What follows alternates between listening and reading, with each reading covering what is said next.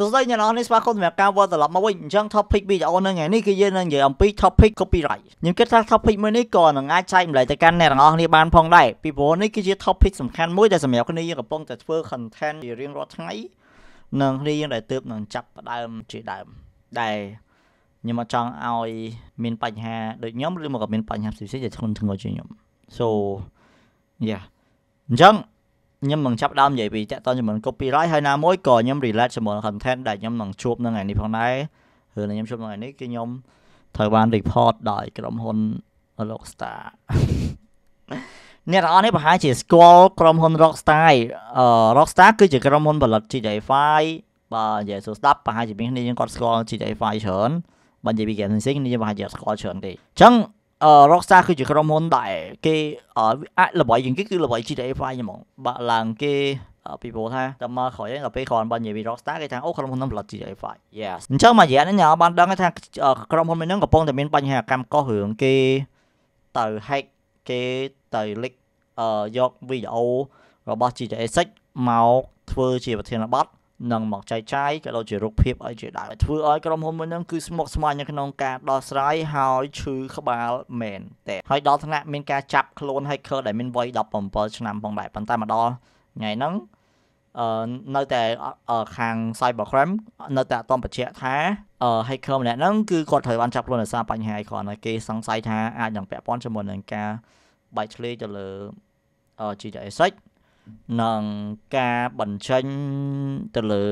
source code របស់ GTA 5យកមកដាក់លក់ជាដើមតែយ៉ាងណាមិញខ្ញុំអាច confirm បានថា source code របស់ game GTA 5ដែលជារបស់ក្រុមហ៊ុន Rockstar ដែលលាក់ទុកជាយូរឆ្នាំមកហើយនោះគឺត្រូវបានបែកធ្លាយនិងត្រូវបានលក់ទៅឲ្យក្រុមហ៊ុនដទៃបាត់ទៅហើយដោយ hacker ដែលយើងមិនស្គាល់មុខហើយក៏យើងមិនទាន់ច្បាស់ថា hacker ដែលវ័យ17ឆ្នាំលើមុនហ្នឹងគឺត្រូវបានចាប់ខ្លួនប៉ុន្តែយ៉ាងណាមិញគេនៅតែដាក់ការសង្ស័យទៅលើក្រុម hacker មួយទៀត ដែលធ្លាប់មានប្រវត្តិនៅក្នុងការ hack ជាមួយនឹងក្រុមហ៊ុនធំៗដូចជា Microsoft ដូចជា Uber អីជាដើមហើយថ្ងៃនេះគឺខ្ញុំនឹងយក topic ហ្នឹងមកនិយាយពីសារតែខ្ញុំក៏ស្ថិតនៅក្នុងបញ្ហាទាំងអស់ហ្នឹងដែរពីព្រោះផឹកមិញខ្ញុំទៅមកជួបខ្ញុំត្រូវបាន report ដោយក្រុមហ៊ុន Rockstar ផ្ទាល់តែម្ដងអ្នកទាំងអស់នេះដែលខ្ញុំនឹកស្មានអត់ដល់ផ្ទាល់តែសោះអឺ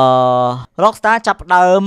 ដើរបិទវីដេអូដែលបានបែកធ្លាយទាំងអស់របស់ GTA 6នៅមិនថានៅលើ Facebook មិនថានៅលើ YouTube ឬមកក៏នៅលើ Twitter គឺគាត់ report take down ទាំងអស់ ប៉ុន្តែខ្ញុំមិននឹកស្មានថាសំបីតែរូបភាពក៏គាត់ take down នៅអ្នកទាំងអស់គ្នា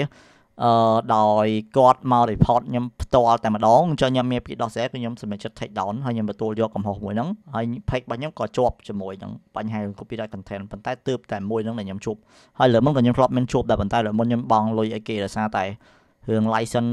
ប្រភេទវីដេអូ meme ដែលខ្ញុំយកមកអ្នកនរនេះហើយនឹងវីដេអូគឺជាវីដេអូគឺជាវីដេអូដែលខ្លាឃ្មុំផ្សេងប្រភេទ meme ហើយខ្ញុំយកមកដាក់កតុយវីដេអូតែ 2 second តែប៉ុណ្ណោះខ្ញុំត្រូវបង់លុយគេអស់500ដុល្លារបើយើងអត់បង់ឲ្យគេគឺ page យើងវាធ្លាក់ quality ពីព្រោះគេអឺនេះនិយាយទៅគេចរចាមកយើងដែរគាត់ថាអឺយ៉ាជាមិនផុតពីការបង់ដើម្បីយក license គេមកប្រើអញ្ចឹងរាល់ថ្ងៃមកដល់ឥឡូវហ្នឹងខ្ញុំអាចប្រើ license របស់គេបានតែខ្ញុំអត់ចង់ប្រើទេខឹងដែរព្រោះវីដេអូ2 second អត់លើកលែងខ្ញុំអញ្ចឹងនេះក៏ជាការចែកម្លែកបទពិសោធន៍មួយតាក់ទងជាមួយ copyright អ្នកទាំងអស់គ្នាដែរអ្នកទាំងអស់ត្រូវដឹងថា before អ្នកទាំងអស់គ្នា យករូបរបស់នរណាម្នាក់ឬមកក៏យកវីដេអូរបស់នរណាម្នាក់យកមកប្រើប្រាស់អ្នកនរត្រូវតែសម្រេចចិត្តច្បាស់ត្រូវតែប្រយ័ត្នប្រយែងឧទាហរណ៍ថាអ្នកនរមាន channel YouTube ឬមួយក៏មាន Facebook page ដែលមានរបៀបថាមាន follower ច្រើនមាន subscriber ច្រើនដែលយើងខំ build ជាយូរឆ្នាំមកហើយប៉ុន្តែយើងអត់បានប្រយ័ត្នប្រយែងរឿងទាំងអស់ហ្នឹងអ្នកនរដឹងថាពេលអ្នកនរជាប់រឿងទាំងអស់ហ្នឹងគឺពិបាកនៅក្នុងការដោះស្រាយមែនទែនវាអាចឲ្យអ្នកនរនេះបាត់បង់របស់អ្នកខំសាងរាប់ឆ្នាំ ត្រឹមតែពេលប្រហែលវិនាទីតែប៉ុណ្ណោះអញ្ចឹងបានចាប់ពីថ្ងៃហ្នឹងទៅអ្នកឃើញខ្ញុំអត់ខ្ញុំសំបីតែព័ត៌មានខ្ញុំមិនផុសលើ page ទេខ្ញុំសម្រាប់ចិត្តខ្ញុំផុសតែវីដេអូនិងរូបភាពដែល relate ជាមួយនឹងខ្ញុំផ្ទាល់តែប៉ុណ្ណោះហើយព័ត៌មានខ្ញុំចង់ផុសខ្ញុំផុសនៅលើ channel Telegram ពុញខ្ញុំគិតថា channel Telegram ខ្ញុំបើបាត់បង់អីក្រោយក៏វាអត់បញ្ហាខ្ញុំធ្វើថ្មីមួយទៀតបានដោយសារតែ ខ្ញុំមាន audience តែ main របស់ខ្ញុំសំខាន់យ៉ាងនេះគឺ Facebook page និង YouTube អញ្ចឹងចាប់ពីពេលនេះទៅគឺខ្ញុំត្រូវតែព្យាយាមគោលការណ៍របស់ខ្ញុំខ្ញុំត្រូវតែ focus ទៅលើ original content សម្រាប់ខ្លួនខ្ញុំដែលខ្ញុំមិនទៅប៉ះពាល់ឬមកក៏ខ្ញុំមិនទៅយកអីមកផុសឲ្យញ៉ៃញ៉ៃទេសម្រាប់ខ្ញុំខ្ញុំមិនគិតថាខ្ញុំបានធ្វើខុសឬមកក៏ជាការលួចគេទេពីព្រោះរាល់ព័ត៌មានខ្ញុំបានយកផុសម្ដងគឺខ្ញុំតែងតែសើចឲ្យដូចជាខ្ញុំធ្វើវីដេអូក៏ខ្ញុំតែងតែផុតសើចឲ្យប៉ុន្តែដោយសារតែ ខ្ញុំមិនដឹងថាអឺ Rockstar ដោះលាក់កំណាញ់សូម្បីតែរូបភាពដែលបានបែកធ្លាយមកហើយគេចែកចាយមកកណោគាត់មក report ដល់ទៅខ្ញុំដែរអញ្ចឹងណាហើយខ្ញុំបានខ្ញុំខ្ញុំខ្ជិលចរចាមួយគេពីព្រោះខ្ញុំគិតថាអឺដោយសារតែក្រុមហ៊ុនមួយហ្នឹងគេកំពុងតែខឹងខ្លាំងគេកំពុងព្យាយាម take down all content relate ជាមួយនឹងអា GTA 6ហ្នឹងអញ្ចឹងយើងអត់មានចរចាយើងសម្រេចខ្ញុំសម្រេចថាខ្ញុំ accept ជាមួយនឹងការ appeal ទៅលើរឿងមួយហ្នឹងតែម្ដង អញ្ចឹងខ្ញុំគិតថានេះគឺជាវីដេអូមួយដែលខ្ញុំគួរតែចែកម្លែកទៅកាន់អ្នកទាំងអស់គ្នាដែលកុំឲ្យខលដូចខ្ញុំហើយកុំឲ្យមានបញ្ហាទៅថ្ងៃក្រោយប៉ុន្តែឥឡូវនេះគឺភ័យខ្ញុំអត់អីទេពីព្រោះខ្ញុំអឺខ្ញុំសិនមកជាប់មួយទេអាមុនមុនខ្ញុំបោះស្រែឲ្យអស់ហើយអឺប៉ុន្តែបើករណីអ្នកស្លាប់ជាប់ស្លាប់អីចឹងអ្នកនរជួឈាមអឺទីមកគឺយើងលុបវាចេញអឺទី2គឺយើងព្យាយាម build អាប់ដល់យើងធ្វើ original content ឲ្យបានច្រើនក៏ដូចជាយើងត្រូវមានអីទៅជារបស់ខ្លួនឯងបានច្រើនអញ្ចឹងទៅយូរទៅវានឹងបាត់បង់ឯងនៅពេលណាដែល platform ទាំងអស់ហ្នឹងគេ update គេនឹង clear ចេញម្ដងពីព្រោះអឺរាល់ការ update របស់ Facebook និង YouTube ខ្ញុំតែងតែកត់សម្គាល់មួយកំហុសដែលជាប់អញ្ចឹងណាគេអឺអត់អត់ដាក់ឲ្យយើងជាប់រហូតទេយូរយូរយូរចឹងវាអាចនឹងមួយឆ្នាំឬមកពីរឆ្នាំអីចឹងវានឹងមានការ refresh ឡើងវិញម្ដងហើយរបស់ទាំងអស់ហ្នឹងវានឹងបាត់ប៉ុន្តែកុំឲ្យយើងខុសជាប់នេះរហូតអញ្ចឹង បានតែខ្ញុំចេញវីដេអូនេះខ្ញុំចង់បញ្ជាក់ប្រាប់អ្នកនរថាអឺកម្មសិទ្ធិបញ្ញាគឺវាពិតជាសំខាន់មែនតើមកដល់បច្ចុប្បន្នហ្នឹងនៅលើវិស័យបច្ចេកវិទ្យាជាពិសេសនៅលើ platform ទាំងអស់ហ្នឹងដែលកំពុងតែប្រើអញ្ចឹងខ្ញុំបញ្ជាក់ប្រាប់អ្នកនរថាអឺឧបមាថាចម្រៀងខ្លះវាអត់មាន copyright ទេប៉ុន្តែយើងអត់ដឹងថាចម្រៀងមួយហ្នឹងគេដាក់ឲ្យយើងប្រើដើម្បី free ឬមកមិនវាអាចនឹងថ្ងៃក្រោយទៅគេមាន right manager គេមាន license ហ្នឹងទៅគេ report មកយើងក៏យើង take down ឬមកគេអាចនឹងយកលុយយើងថ្ងៃក្រោយអញ្ចឹង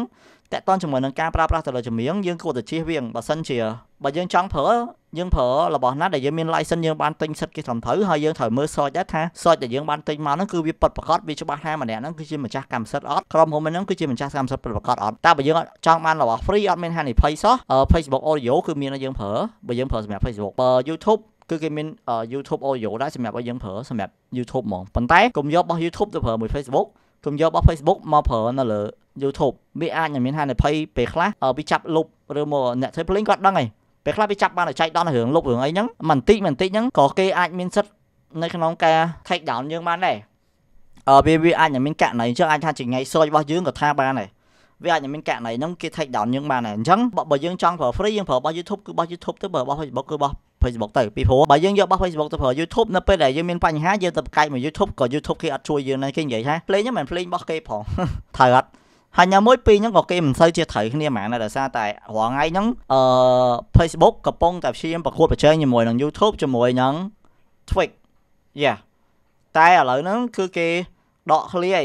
គេមកចាប់ដើមប្រកួតប្រជែងជាមួយនឹង YouTube វិញហើយពីព្រោះ ការប្រកួតប្រជែងជាមួយនឹង Twitch អត់អាចផ្ដួល Twitch បាន Twitch នៅតែអាចដំណើរការទៅមុខបានតែតជាមួយ Facebook Gaming ឃើញ Facebook Gaming ឥឡូវរបស់ Facebook កាប់បន្ថយវិញហើយអញ្ចឹងគេដកហ៊ុនវាហ្នឹងគេមក focus ទៅលើការ update ទៅលើអឺ page តាក់ទងជាមួយនឹងវីដេអូការ update ទៅលើ monetize ការ update ទៅលើ profile ឥឡូវហ្នឹងគេតន់មកដាក់ beta test professional mode នៅលើ profile Facebook ទៀតដែល profile ចាប់ដើមអាចរកលុយបានដូចនឹង Facebook page ដែរយ៉ាអញ្ចឹង នេះគឺជាការដេញជើងគ្នាមួយអញ្ចឹងបាទយើងបាទខ្ញុំចង់បញ្ជាក់ឲ្យអ្នកនរថាបើអ្នកនរប្រើរបស់មួយណាយើងត្រូវតែប្រើរបស់នៅកន្លែងហ្នឹងយើងកុំយករបស់កន្លែងហ្នឹងយកទៅប្រើរបស់កន្លែងផ្សេងហើយត្រូវប្រយ័ត្នអ្នកនរសំបីឃើញខ្ញុំសំបីតែរូបភាពក៏គេចាប់ដែរតែស្វ័យគឺវាធ្ងន់ធ្ងរមែនតើអឺដោយសារតែពីមុនខ្ញុំគិតថាអូខេដោយសារតែខ្ញុំមានបងប្អូនគាត់គ្រប់គ្រងច្រើនចឹងខ្ញុំតែងតែយករូបភាពពីព័ត៌មាននេះមួយតទៅជាមួយនឹងការ អឺ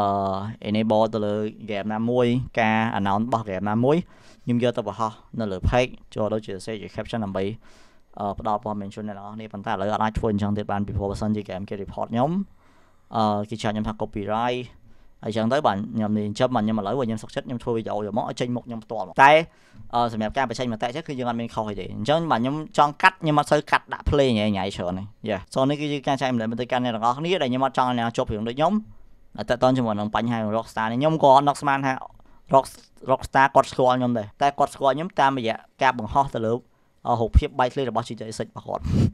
មានមិនមែនជាការស្គាល់បែបល្អដែលគេមក sponsor យើងណាយ៉ា